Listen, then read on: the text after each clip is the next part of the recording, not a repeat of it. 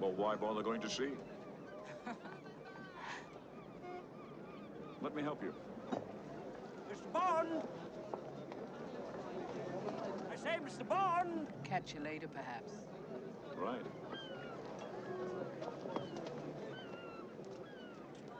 Nigel Small-Fawcett, British Embassy, Nassau. How'd you do, Nigel? Sorry I'm late. But as you're one of these undercover Johnnies, I took a precaution of not being followed.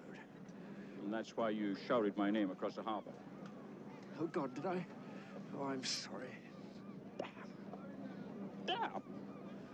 Sorry, I'm rather new to all this. What's the score with Largo? Oh, he's highly visible in these parts.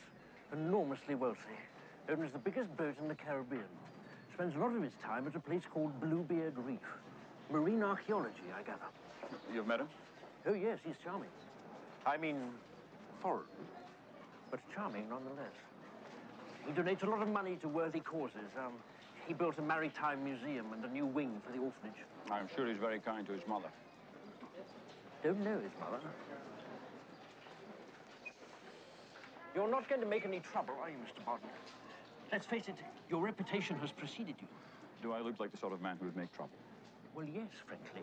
And you're going to jeopardize the tourist trade if you start going around killing people. Nigel, please, just go back to your desk.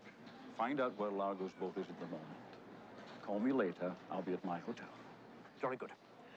I'll get on to that at once. And take full advantage of the natural cover.